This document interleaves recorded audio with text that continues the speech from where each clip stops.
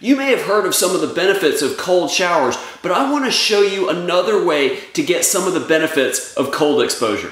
I'm Dr. David, orthopedic surgeon and sports medicine specialist, and I want to help you live, perform, and feel your best regardless of any age or injuries. Now, we've talked a lot about cold exposure in recent videos. We've talked about some of the health benefits in terms of better circulation and immune function and, and maybe heart health and weight loss and increased metabolism and you know lower uh, bouts of or issues with depression and more energy, all sorts of things like that. And there are ways to do it. Like I've shown in a prior video, you can do cold showers. You can do whole body cryotherapy that I've shown, those cold uh, nitrogen tanks that get to like 187 degrees Celsius below zero uh, and do that for three minutes. Uh, now that can be expensive and depending on where you live, you may not have access to that.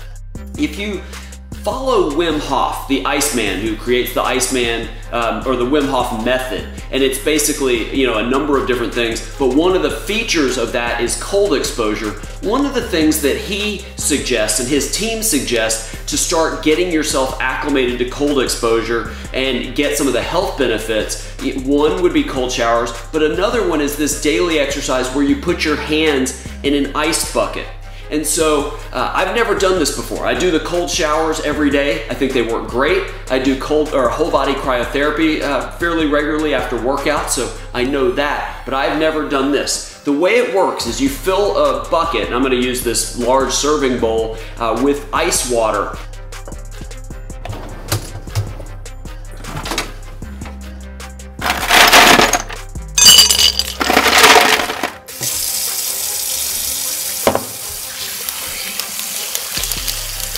And you're gonna put your hands in it for about two minutes and then basically see uh, at that point, uh, at first it's going to be almost painful apparently, and then it supposedly starts to feel better, and you do that a couple times a day. So you can do it either for two minutes max, or you can stop before two minutes as your hands start feeling warm again while they're in the water. So we'll see how this goes. This could be awful, but I'm gonna try it here for the first time. Hey Siri, set a timer for two minutes.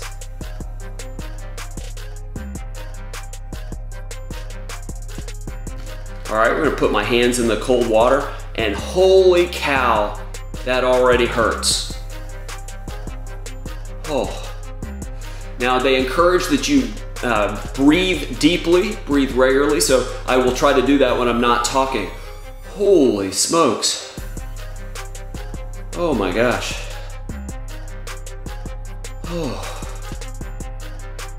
Pain, this is not feeling good like they describe in the book just yet.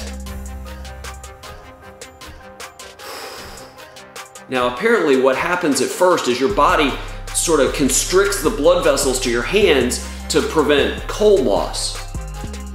Or to prevent heat loss, I should say. Can't even think well, it hurts so much.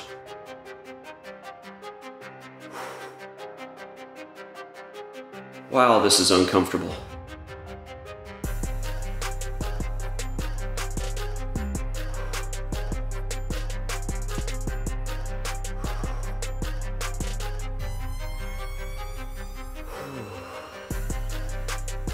Uh, maybe going for the two minutes because it has not started feeling, my hands do not feel warm yet. Hey Siri, how much time left?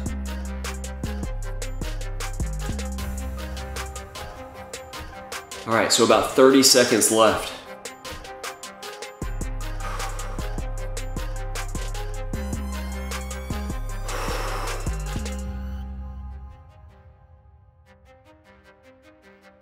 Still have not felt that warmth yet. This is brutal cold. I don't know, it's starting to actually get better.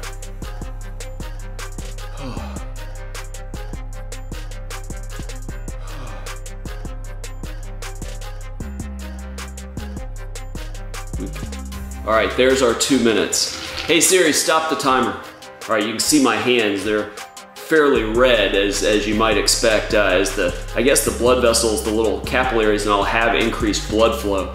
Uh, it's one way to try it. seems to me that cold showers are the better way to go. Uh, this was more painful, but it is the first time I've tried it. If you have medical issues, uh, diabetes, or any other medical issues where you know cold exposure to your extremities may not be the world's best idea, check with a doctor. Always a good idea when you're trying you know treatments like this to check with a doctor, see if it's right for you.